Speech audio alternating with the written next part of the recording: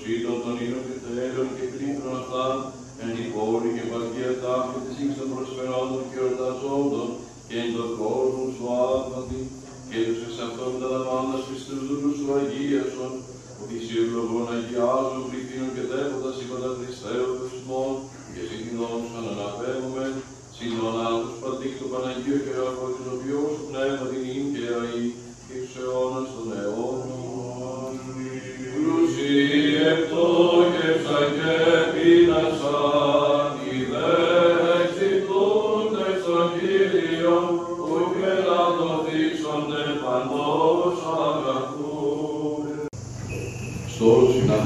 στα πολύ παλιά χρόνια υπογράφηκε μια συμφωνία, μια διαθήκη, η παλαιά διαθήκη, συμφωνία μεταξύ του Θεού και του Ισραήλ, του μόνου λαού που ακολουθούσε τον ελληνικό Θεό.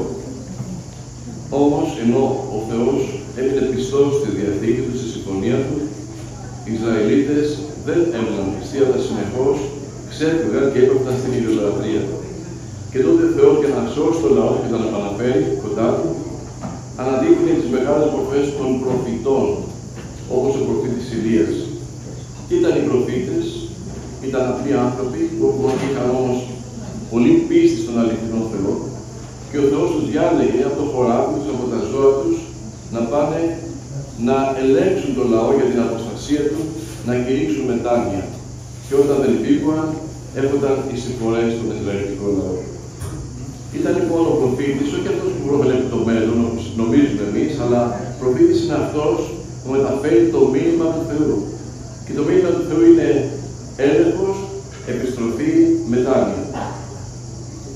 Ακούσαμε λοιπόν αυτά τα ωραιότατα κείμενα πριν που είδαμε τη ζωή του προφήτου Ηλία και το έργο του. Είμαστε στο 1000 περίπου μετά Χριστόν, όταν βασιλιά στο Ισραήλ είναι ο Αχάβ και είχε πάλι μια ιδεολάτησα γυναίκα, την Ιεζάβελ, η οποία επέβαλε στα νικά την ιδεολατρία. Και ο λαός τους ακολούθησε και κατέσφαξε τους προφήτες του Θεού, του αληθινού Θεού, και έτσι οι προφήτες του Βάλ και της Αστάρτης αλώνιζαν και παρέστεραν τον λαό. Σε αυτή λοιπόν τη δύσκολη εποχή, ο Θεός καλεί τον προφήτη Ηλία να αναλάβει το έργο της επιστροφής του λαού. Και ακούσαμε βέβαια πώς καταδιώκεται ο προφήτης, πώς προκαλεί την ανομβρή και διάμεση χρόνια δεν έβρεξε και οι άνθρωποι πέθαναν από την ανομβρία και από την ασυλία. Όταν λοιπόν ορίμασε το πράγμα, τα λέγαμε, τότε κάλεσε τους προφήτες του Βάδη σε έναν διαγωνισμό. Έκαναν δύο θυσιαστήρια όπως ακούσαμε, έβαλαν τα σπαρτά επάνω και τους είπε παρακαλέστε το Θεό σας να ρίξει φωτιά. Και αν ρίξει φωτιά και κατακαεί το ολοκαύτωμα, εγώ θα πιστέψω ότι αυτός είναι ο αληθινός Θεός είναι. Ενώ αν δεν συμβεί αυτό και συμβεί σε μένα, θα δούμε ποιος είναι ο αληθινός Θεός. Έτσι λοιπόν οι προφήτες του Βάλ έσφαξαν το μοσχάρι, το έβαλαν πάνω στο θυσιαστήριο και παρακαλούσαν από το πρωί μέχρι το μεσημέρι και όπως λέει ωραίο το κείμενο, ούκ εν φωνή, ούκ εν ακρόασης. Και τους κορώνεται ο Άγιος προφήτης Ηλίας, φωνάξτε λίγο παραπάνω, μάλλον θα κοιμάται ο Θεός σας, θα διαλογίζετε. Και εγώ πέρασα σχεδόν όλη η μέρα και δεν έγινε τίποτα, δεν παραμερίστε. Και έτσι λοιπόν έβαλε το, το δικό του μας χάρη, παρακάλεσε τον Θεό και πριν προλάβει να τελειώσει την προσευχή του, ήρθε φωτιά από τον ουρανό και κατέκαψε το ολοκαύτωμα ακόμα και τις πέτρες και τον λίγο νερό που, είχαν, που είχε πέσει πάνω τους.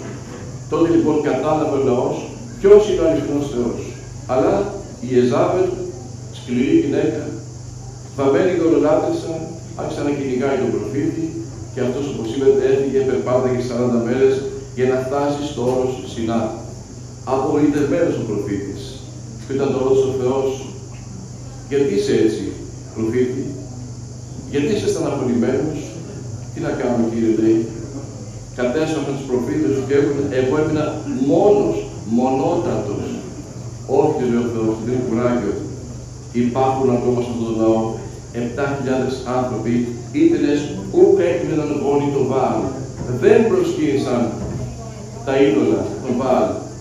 Έτσι λοιπόν πήρε κουράγιο ο προφήτης που τέλειωσε το έργο του και άφησε διάδοχό του, τον προφήτη Ελισαίο, είδαμε ότι είναι ο μόνος προφήτης της Παλαιάς Διαθήκης, μόνος Άγιος, που δεν πέθανε, αλλά ανελήφθη στους ουρανούς και ξαναεμφανίστηκε πάλι πότε, στη μεταμόρφωση του Χριστού. Αυτό λοιπόν είναι το μεγάλο έργο του προφήτη. Θα μου πείτε τι σχέση έχουν όλα αυτά με εμάς σήμερα. Ναι, αδελφοί μου, γιατί πάντα οι άνθρωποι αποστατούμε από τον Θεό, φεύγουμε από κοντά τους και τότε χρειαζόμαστε κάποιον τέτοιο προφήτη, κάποιον τέτοιο άνθρωπο να μας ταρακουνήσει, να επιστρέψουν και πάλι στον Θεό, γιατί εκεί είναι μόνο η σωτηρία, εκεί είναι μόνο η χαρά, η ευτυχία. Σήμερα που οι άνθρωποι δυστυχώς έχουν φύγει από τον Θεό και καθόνται γι' αυτό, όλοι μας έχουμε χρέος να γίνουμε μικροί προφήτες, δηλαδή να σταθούμε στην πίστη μας, να σταθούμε στα πόδια μας, να δούμε τι έχουμε τον αληθινό Θεό, την αλήθεια και αυτή την αλήθεια να τη μεταδώσουμε και γύρω μας. Να ξεφύγουν οι άνθρωποι από τη σύγχρονη ιδεοκρατία, να φύγουν από το κακό, να φύγουν από τη δυστυχία την πνευματική και να αναγνωρίσουν τον αληθινό Θεό. Εύχομαι ο προφήτης Ηλίας να μας φωτίσει στον δρόμο μας, στη ζωή μας και στο πνευματικό μας αγώνα.